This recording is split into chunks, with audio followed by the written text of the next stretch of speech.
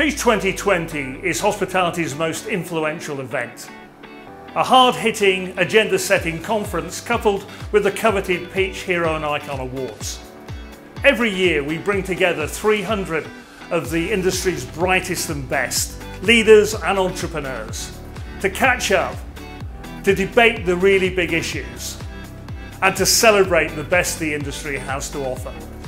Peach 2020 is an incredibly important event. This is the point at which we are resurrecting as an industry and it's the first time we get to come together, share notes and more importantly I think share zeal and enthusiasm about the future and what it holds for this industry. For Peach 2020 we need a room full of speakers, collaborators, minds that come together to answer the questions that are really critically posed for this industry. There are so many elements that we need to get right as we skip into the future. So the sector is fighting a number of challenges at the moment and, and, we're having to come together as a group to meet those challenges. We've got the issue of attracting and retaining talent in our business against the backdrop of quite a poor image that perhaps hospitality has garnered over recent time. We've also got the challenge of a global supply chain, the knock-on implications of both Brexit and the, the pandemic that we've been through. We need to make sure we meet those challenges together. I mean, Peach 2020 is, in my mind, quite important because we've spent the last year talking about survival. Surviving um, personally, surviving as businesses, kind of coping with this incredible sort of disruptive event that has been COVID.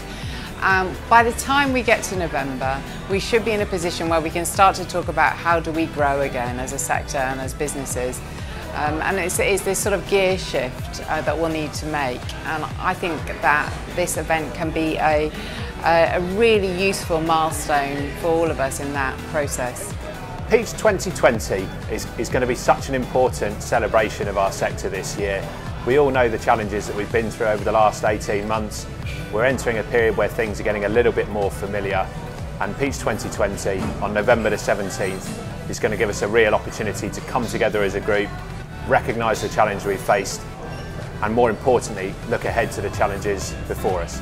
Personally, November the 17th represents to me an opportunity to get together with my sister and brother restaurateurs. Uh, this is extremely exciting. There is nothing like having a room full of people to exchange ideas and to reinvigorate us at the point that we need it the most. What I'm looking forward to at Peach this year is all the things that I usually look forward to.